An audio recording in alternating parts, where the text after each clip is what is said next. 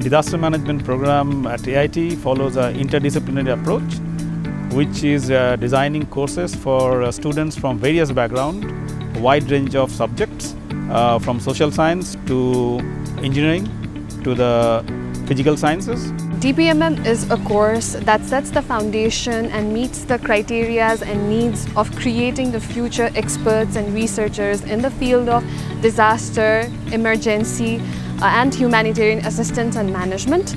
This is the main reason why I joined a DPMM because this is the field of my interest and uh, I am setting the groundwork, I'm building myself, building my capability and trying to create a career in this field of study. Aside from the excellent and holistic curriculum of our program, uh, the very diverse backgrounds and perspectives, international perspectives of my classmates and professors makes our class discussions more enriching and worthwhile. Being a DPMM student is my pride as well as my inspiration in applying knowledge and experience gained for future disaster management professional.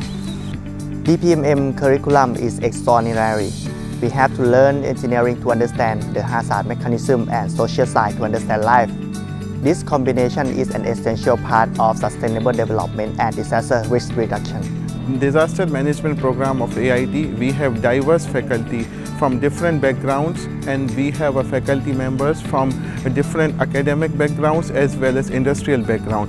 This new part of learning always stimulates my curiosity and long to discover new things more and more in every step.